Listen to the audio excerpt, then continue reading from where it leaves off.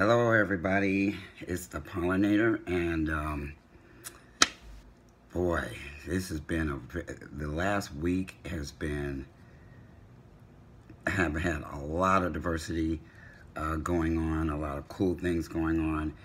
And this video is going to be about the Black Panther movie that I've seen twice now. I just came back from seeing it a second time. Um, the first time I went with a group of men who um, who are part of a support group that I go to in the area, and uh, I went to um, downtown big theater, black people everywhere, uh, women dressed up like some of the warriors in the movie, um, men dressed up in African garb. I mean, it was absolutely amazing the first time I saw it. I uh, went to a preview of the, the premiere um, last Thursday. And I was so stoked after seeing that movie. Um, and then I came back, um, and over the last few days, I've been looking at other I'm sorry, I've always seemed to be picking something out of my mouth. This time it's popcorn. um, anyway, um, where was I at? I I have to pick up somewhere else because I just forgot my train of thought. Um, oh, okay. So I've been watching various reactions to the movie. So spoiler spoiler alert: if you have not seen uh, the Black Panther movie, you might not want to watch this particular video because I'm going to say some things about it. Uh, so again, if you haven't seen it, escape, get out of the video. Um, so I've read articles on the internet um, on people's take of the movie. I've seen people's reactions before they seen the movie. I've seen people's reactions after they saw the movie. Um, I've just been all over the place reading lots and lots of things um, about it from uh, black people's perspective and from people who are not black, their perspective. Um, actually, I think I've only seen people who are are white, um, their reaction to that film. I haven't seen any other kinds of POCs reacting to that movie because it was so, so powerfully black. Um, I mean, first of all, um, I didn't know anything whatsoever about um, the Black Panther, the Marvel uh, comic book series where the characters came from, where the storyline came from, and from what I've heard, um, it's pretty staying pretty true to the storyline uh, in the comic book series. Uh, but, you know, I don't know. I didn't know. I don't know. Um, all I know is I went to see it without any um, biases, um, without any knowledge of the characters, without anything at all. In fact, when I showed up, um, one of the guys said, where's your African garb? And I'm like, what African garb? I mean, I had no idea what I was getting ready to see, which I think for me was a blessing uh, in disguise because I did not go into it with any biases. And then as I read everybody's um, reactions to the film um, itself and a lot of the powerful, powerful messages, both positive and negative about um, about the movie, um, I thought, it, I, I knew I wanted to see it again and I was waiting to see it with my best friend, but he had car problems and didn't know when he was going to be able to see it again. So I just on a whim, impulsively, um, I went to see it again. And I was hoping that the things that I read would not impact uh, the way I felt about the movie, the way I felt, period, um, about it this time, and it didn't. See, and, and I wish I could call the characters out by name, but I can't because I'm not I'm, I'm still not terribly familiar with all the characters. But, you know, there's, there's just a lot, a lot of people um, with various um, comments and and feelings and thoughts about about this movie. Um, and I'm not coming at it as coming uh, talking about this as a theologist, as a PhD, as somebody who's extremely popular on uh, Facebook or YouTube or whatever. This is just my own personal take that, you know, positive or negative. I, when I watch movies, I watch movies the way I listen to people that I admire. Um, I don't, I look for the similarities, not the differences, so that I walk away with, um, with the awesome feelings that it gave me, not the negative biases that I have running around in my mind about it. And I'll, I'll you know, I, I would tell you what people are saying about about this film, but I don't know. I think that would take away from how I felt about it, which, you know, put me on high, gave me hope, gave me, um, I won't say gave me courage, but um, it just, I'd never seen anything like that before in my life. Nothing where it was an almost all black cast. Um, and and this I found out after the fact, after I saw it the first time, was that, and I didn't even realize it when I was watching it, that the majority, I don't even think there was one black person in it who was any lighter skinned than I am. Um, so it exalted dark skinned black people. Um, the women were amazing warriors. The men were amazing warriors. And there was a couple of a couple of white guys. Um, yeah, a bad guy and a good guy in the movie. And um, you know, I just oh, and I thought, you know what we ought to do and, and, I don't care if it came from a movie or not. I don't care if it came from somebody starting it out there somewhere or, um, it, it, you know, the, the fist pump, right? Which is something that um, really came from the black community. Um, other people do use it, have hijacked it more or less, uh, like they do everything else that we, we create. Um, but I thought of a new handshake. And it's not a handshake. Came from the movie. Um, it's a lot less uh, personable than a fist pump because, you, you know, you're touching somebody when you do that. But one of the gestures in the, the movie that the king um, did to everybody that, I, you know, I, would try to put a word on what that was, but here it is, folks. Just like that. Boom, hands straight down. I gotta stand up and do it like that. Um, we should start something like that as a greeting to each other when we're black. Um, yeah. See, that, that those are the kinds of things I got out of that that film. Um, again, it's fiction. Um, it's about a super. It's, Black Panther is a superhero um, of the Marvel series, and but since when has have fiction movies not had some kind of an impact on people? Because that's exactly why they make them, um, and and depending on what's going on in your heart, you're gonna see different things in the movie. Um, if you're bitter you're probably going to, if you're, if you're bitter about uh, how things are for uh, black people in this world, you're gonna, you're probably gonna see um, the uh, one, the black villain in the movie as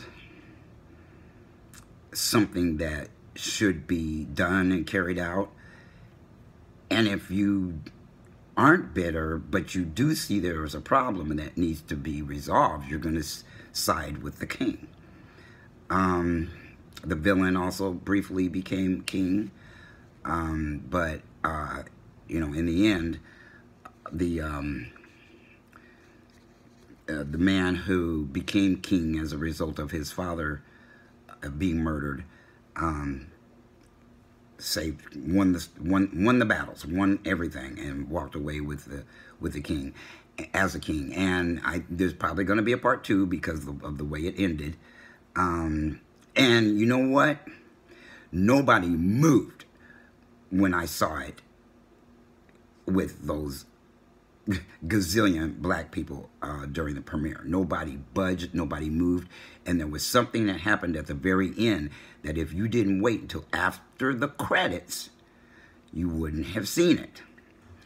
Um, and so, but I went to another movie theater in the suburbs, and you know, depending on where you live, uh, those tickets are sold out. But they weren't sold out up here, you know, by me where I live. And so I think there was, there wasn't, there wasn't a whole heck of a lot of black people in that theater and it, and, and it wasn't even close to being full. There was a lot of white people and I was actually sitting right next to um, some Indians, not American Indians, but Indians from India. Um, and everybody except one, two, three, four, five people got up and left before the end, end of the credits to see what happened at the very, very end because they didn't know, probably. More popcorn. They didn't know something was going to happen um, after the credits. So, so I just, I just, I'm just so stoked that that movie did something for my spirit, which a lot of black people claim that it does. I mean, even though it's fiction, um, even though everything that happened in there it was impossible for human beings to do. What wasn't impossible really was what did happen at the very end. What was, uh, it was a scene uh, at the United Nations with the king talking, the king of uh, uh, Kawanda. See, I can't even say the name of the uh, country they made up in Africa, but um, you know, I'll look it up and be able to say that right. I'll probably make a post post on Facebook with the character's name correctly because knowing me, I'll research it, look it up, and um, come out with the right names of things. Um, so, what happened in that movie symbolically needs to happen around the world, starting with the United States because this is where I live. If I have been any other in, uh, in, in any other country, I might have thought that it needs to happen wherever that country is too, especially Africa. Uh, the characters were African, had African uh, accents, even though some of the actors and actresses were American. Um, but it just really it, it, was one of these movies one of these kinds of movies that um, just you know reminds reminded us in a very positive light where we came from M most people who are awake in the United States and worldwide knows that black people in America have had their history completely almost wiped off the map. Um, things that we've accomplished in the United States um, has been either stolen or buried or you know literally uh, white people taking credit for things that we have created in in America. Um, and I was going somewhere with that. Um,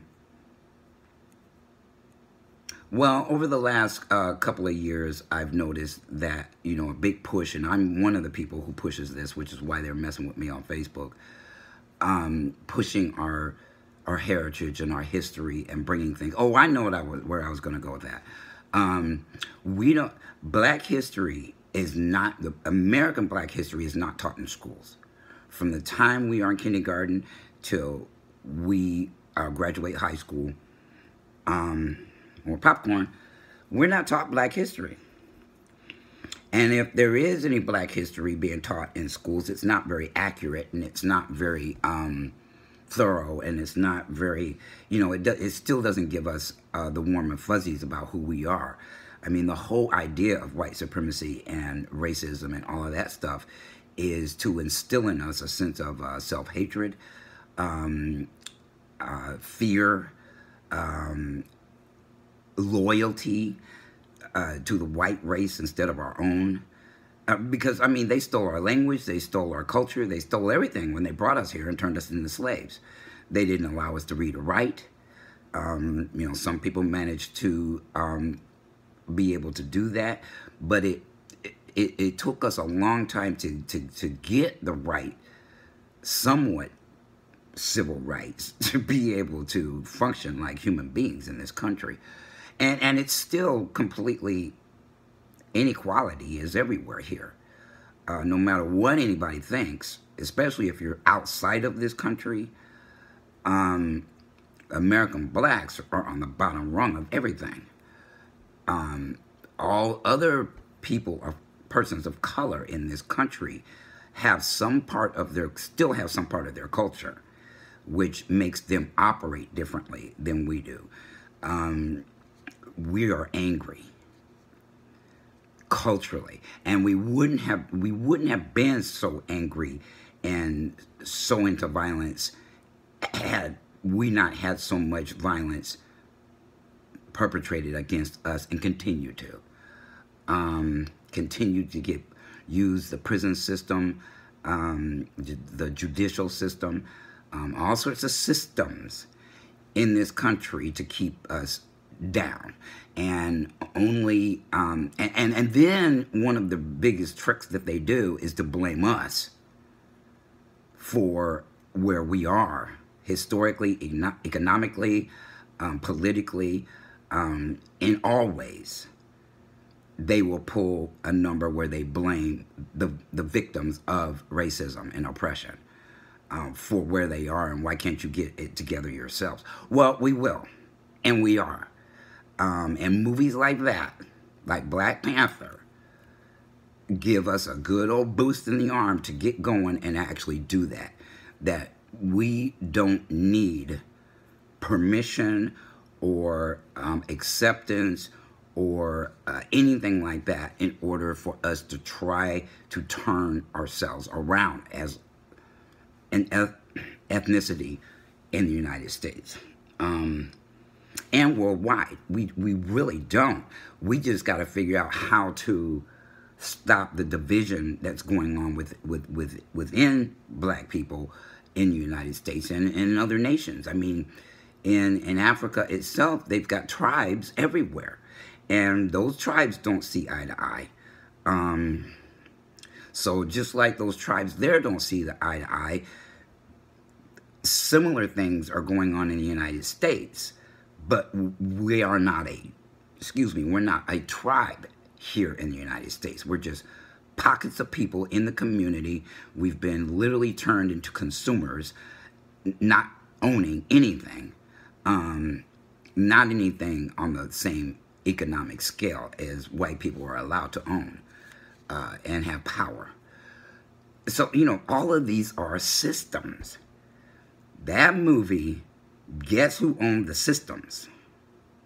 Black people. And they did it in a way that, to me, cast a positive light on us as a human beings on the planet.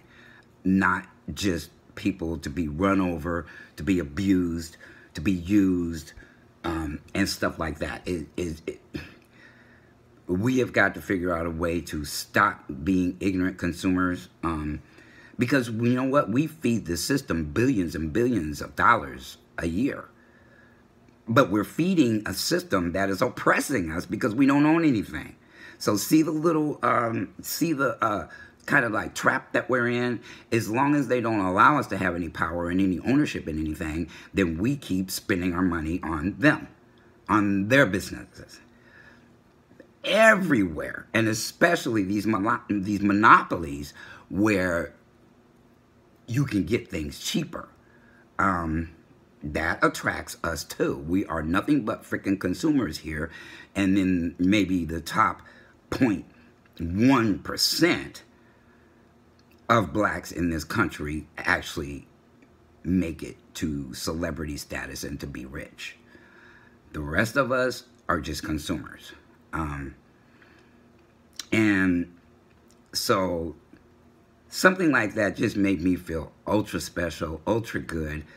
I knew what was going to happen throughout that movie, so I was laughing when other people weren't. Um, and I think the ladies that were sitting to my to my left had seen it before too, because they stuck around until after the credits, and they were laughing to the parts that I was laughing to as well. Um, the when I saw it with you know tons of black people in a theater, you know at the end they were all clapping. Um, I mean that's the kind of fiction, whatever you want to call it, movie that that that that it is. Um, so um, no clapping in the uh, when I saw it tonight. Uh, well, now last night. um, but I'm clapping in my heart. And I swear to God, I'm going to start, you know, people maybe look at me strange when they say hello, and instead of fist pumping them, I do this. They're, they may look at me strange, but I don't care. I, I, I'm, I'm the type of person that will do eccentric things. I don't, I don't really care if they understand or not. And if they ask me, I'll say, I got it from that movie. Um, what a setup. I wish I was, I wish I had like, you know, a thousand, a thousand subscribers, subscribers or whatever so that I can, you know, start something like that. If I put it on Facebook, they keep putting me on, in group jail so they make sure I don't promote myself, uh, promote anything I think. And I found out that they're doing it to other more powerful black people on that platform and just black people in general. Um, you know, Facebook has taken on the task to just messing with everybody, kicking them off of their accounts for 30 days, putting them in these group jails. I mean, they're just going hog wild shit, being white supremacists, practicing dominance um, on its users. And it's almost, well, I'm not going to say anything further than that um, about that platform, but they are the most powerful and the biggest one in the world. They know it. Um, they've got at least a fourth of the population of the world on that platform. Um, and they know that too. And they know that they're a private business. And it's going to take a whole bunch of us figuring out who each other are to fight them. Um, or one of us here and there will squeak through and get them to stop messing with them, but then they'll they'll keep messing with a lot of other people, regardless, unless we file class action lawsuits that they're practicing supremacy and uh, supremacy based on racism uh, on on that platform. We are being profiled. We are being watched as if we had gone in a store, which has happened to me plenty of times in my life, gone into a store and had the freaking management or other employees follow me around the store thinking that I want to steal something. The same thinking is going on with employees of Facebook. So, enough about them assholes. I don't, you know, I'm going to figure out another way. I'm going to make two, another video about something that happened um, now, day before yesterday, that was really, really great. So I'm going to get off this one. I just wanted to uh, make a shout out to the Black Panther movie. If you if you are black and you haven't seen it, go see it. Even if you don't know anything about it, it's you're going to walk away with some kind of um, positive um, feelings. You're going to be moved. Um, well, I was. That's my story, and I'm sticking to it. So I hope everybody has a blessed week. And um, pollinator out. Peace.